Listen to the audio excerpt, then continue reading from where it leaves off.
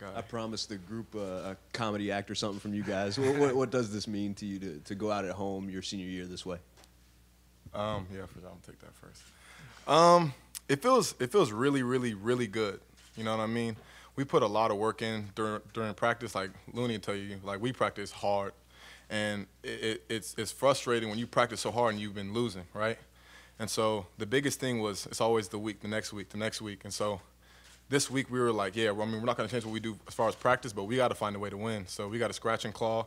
So, especially as seniors too, like I'm, I'm pretty emotional. Like I was almost about to cry today, and so you kind of felt it in the beginning of the game, like, yeah, I'm gonna be emotional, but we got to find a way to win. Like I have to put all that to the side and, and find a way to win this game, and I'm glad we did. Yeah, man, I have to agree with Ray Ray. I think this game was a little extra special though, man. Just being the last one in Memorial, man. I mean, Berkeley's been the greatest experience of my life, man. I'm thank God for everything He's blessed me with to be able to come out here and go to a prestigious university and just have the years that we had, man. I mean, I've been around great guys. I mean, I played with Jared Goff, the number one overall pick in the draft, man. I just played played with some of my best friends like Isaiah Tongalava, man. I mean, Chris Palmer. I mean, guys that you just grow a bond with, man. They become your brothers, become family, and um, I'm just blessed, man. And um, I think I think um, the program's going in the right way, man. And it's just good to get the win and get back on get back on um, the rise. So I mean, we get we got to get one more, get Yeah. get the bowling. I mean, Axe. we want to win two more. Got to get the Axe, Yeah. sure. I mean, that's that's gonna be big for us, man. I mean, getting a big rivalry game, but. I'm gonna enjoy this, man. We got a bye week coming up, so it'll be it'll be a lot of entertainment going on tonight, having fun. oh, yep, my bad. You guys combined for the only sack in the game. Can you tell me uh, what what how the play developed and also uh, just uh, you guys' feeling afterwards, just knowing the two of you had gotten that sack? Yeah, it was simple. I mean, Ray Ray just jumped in at the end, you know, as he usually does. He just always getting in and stealing my sacks. But, you know, I got there first. and. You know, yeah, yeah that better is, wrap that up. is I'm true. coming. Yeah, I mean, Ray Ray's, Ray Ray's always there, right man at the right time. And I mean, I don't know. We, we both played to play well. I mean, Right. we had a blitz going on. I mean, we, we figured it was pass, so we um, partied a little bit.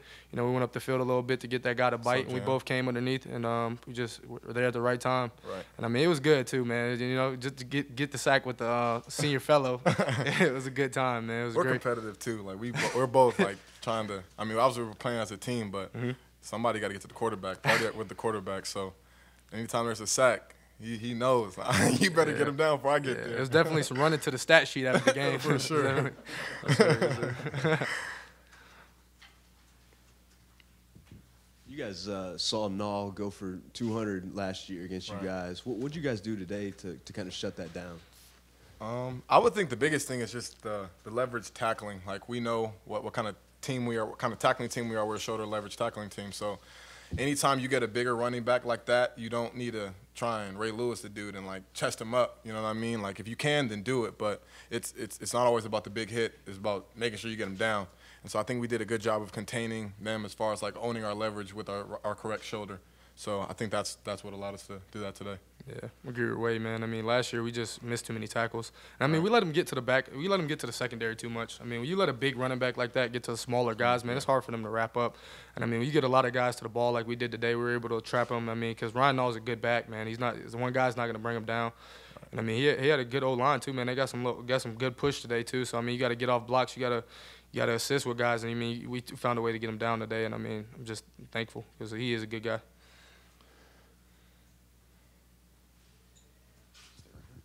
You guys mentioned the axe in a bowl. Um, uh, there weren't a lot of people on the outside talking about those things this year. Right. Were those realistic expectations for you coming into the season? One hundred percent.